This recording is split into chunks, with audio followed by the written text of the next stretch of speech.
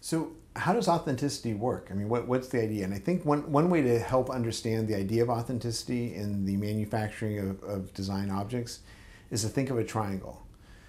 There's the consumer, there's the manufacturer, and the designer. And all three of them are essential. Without a consumer, then we don't, you know, without, without you, we don't need to be here. It's like nobody wants the product, then no problem. Without the manufacturer, well, that's interesting. You don't, then you have a handcrafted object which is a beautiful thing, but again, not what people like Charles and Ray were trying to do. But if you just have the manufacturer and the consumer, then no matter what, you don't have somebody who's actually advocating for the design, who's uh, sort of outside the, the direct equation of the manufacturing, to whom the manufacturer is accountable in terms of the authenticity. And so all three of them play their role in order to, to lead to authentic product, and most important, to lead to designs continuing to be in the form that they were intended to be as long as people want them.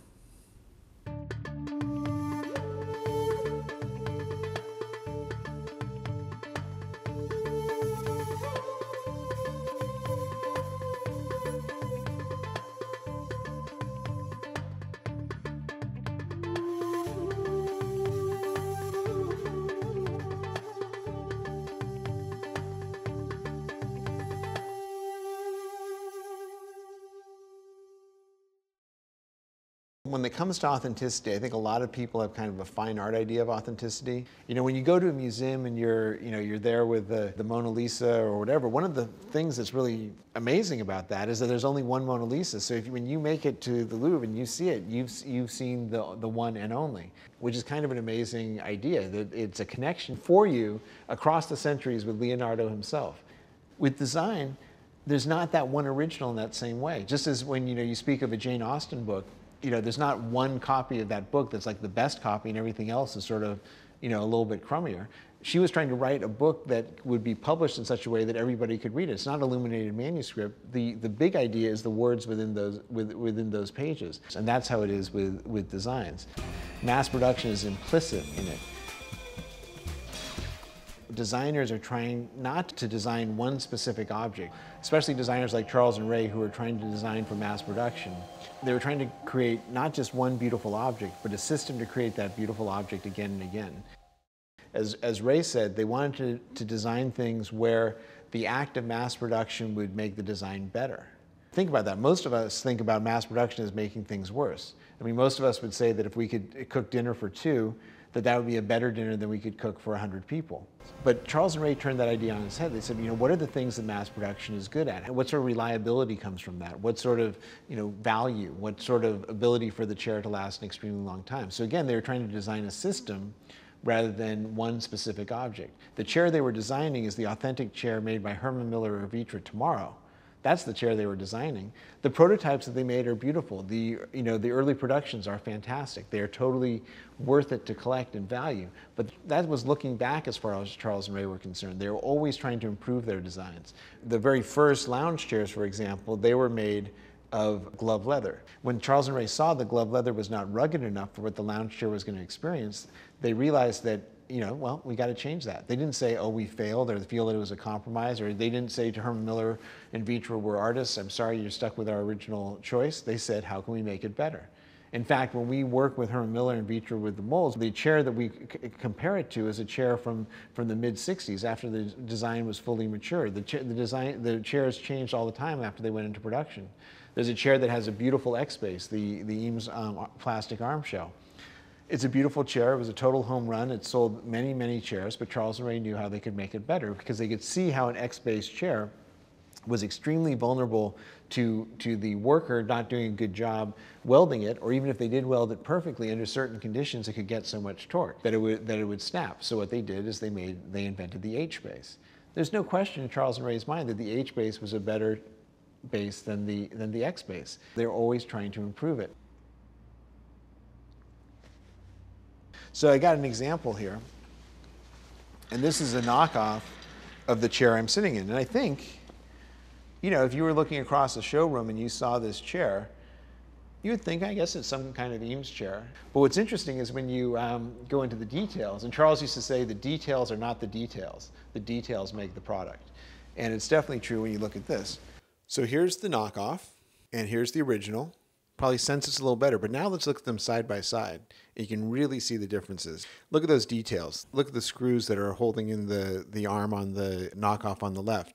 Well, you don't even see them on the right because it's been designed so well that it kind of deftly comes in from behind. Then you notice, of course, that the arm on the on the knockoff is actually only half there because they're trying to save money on metal. Whereas you see this whole elegant swoop on the right that makes up this beautiful arm. The line of the seat itself on the left is very awkward, and whereas you look at the right, not only is it beautiful, but it implies a certain kind of strength that's really there. And it, and these details go everywhere, like even to the taper of the arm. There's a lovely taper to this that you can see. And you can see that, you know, the arm starts wider here, tapers down there. And there they've just made, you know, one, one big thick thing. This is a lovely detail. You have the screw in here holding the material in place. You can see it when you ever see it constructed. It holds the material in place and actually provides tension for it. it on this chair, they've sort of kept the detail of the screw, but is so dishonest about it uh, all the work is being done elsewhere, and so this is there almost ornamental. Is that you see this where the where the leather wraps around? That's where the, where the tension is coming that you're sitting on. What's interesting about that is that you could only have designed this chair if you knew exactly how it was going to be made. You know, when Charles and Ray designed this, they knew that if this chair was successful, 20 years later there'd be a person in the factory turning it inside out and creating that tension.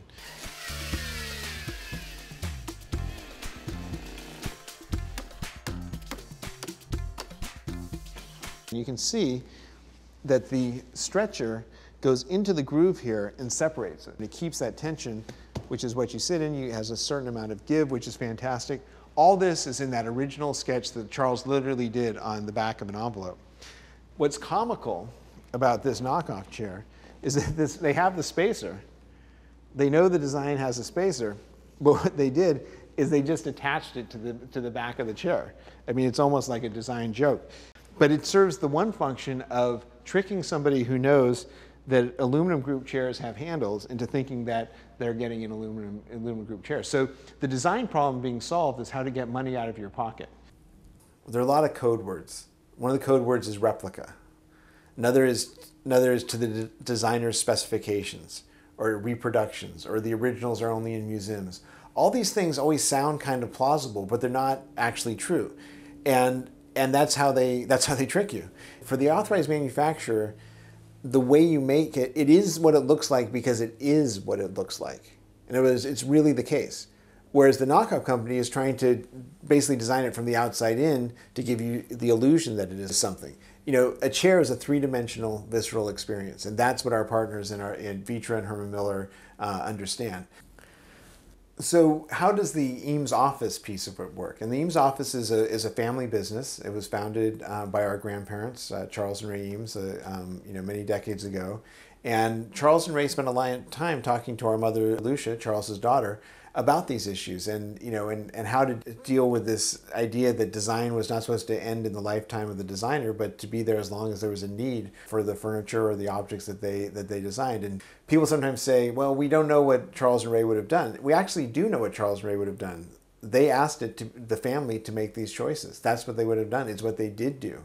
For example, um, there's issues of materials. There, some of the materials they worked with are not so environmentally friendly. So they were aware of that and they were experimenting. We have found a treasure trove of these molds that they were experimenting with different kinds of plastic so that they wouldn't have to be reinforced with fiberglass anymore. And lo and behold, today we're proud to make the Eames plastic chair in a much more environmentally friendly way and, and still preserve the, the beauty of the design.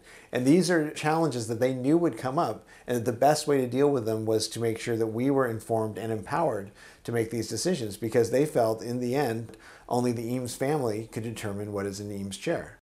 But the thing is, we don't make these chairs ourselves. We don't handcraft them because that wasn't the point it was all about systems, about creating ways to give people these experiences again and again. And for that, we have amazing partners like Herman Miller and Vitra, who we've been working with for over half a century. And yet, never with this feeling that it was about looking to the past, but about making sure that these chairs continue to solve the needs of the present. And that's really the beautiful thing about this. These are not vintage chairs, these are contemporary chairs. And that's why this authenticity piece is so critical.